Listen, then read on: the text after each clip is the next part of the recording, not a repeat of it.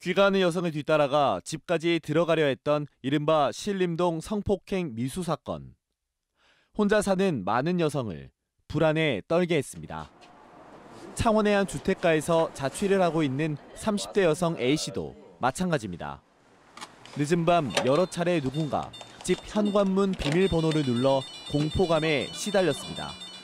결국 직접 돈을 들여 집 앞에 CCTV와 센서 등을 단 뒤에야 마음을 놓았습니다. 비밀번호가 안 맞으니까 계속 삐삐삐 거려서 순간 겁이 났는데 혼자 있는 것처럼 하면은 더 무서울 것 같아서 그냥 대화하는 식으로 뭐 밖에 누군가 아니냐고 가봐라고 창원에서 대학을 다니는 20대 여성 B씨는 옆방의 남성이 성범죄자라는 사실을 알고 도망치듯 이사를 했습니다.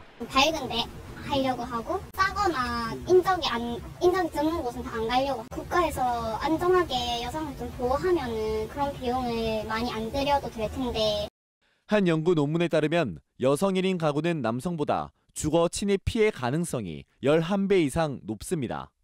이 때문에 서울시는 지난해부터 우범 지역에 홀로 사는 여성에게 휴대용 긴급 비상벨 등 여성 안심 홈 4종 세트를 제공하고 있습니다. 하지만 경상남도는 물론 경남 18개 시군 가운데 진주시를 제외한 나머지는 여성 1인 가구 안전 지원 정책이 시행되지 않고 있습니다. 1인 가구 관련해서 추진하는 자체 사업은 없거든요. 계획해서 편성할 필요는 있는 부분이긴 한데 아직 음, 아직 그런 건 반영된. 내용이 없네요. 네네.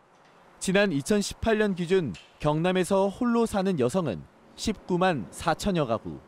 홀로 사는 여성을 노리는 강력 범죄가 계속되고 있지만 안전 문제는 이대로 각자의 책임으로 돌려도 되는지 경남에서도 지자체의 고민이 필요한 때입니다.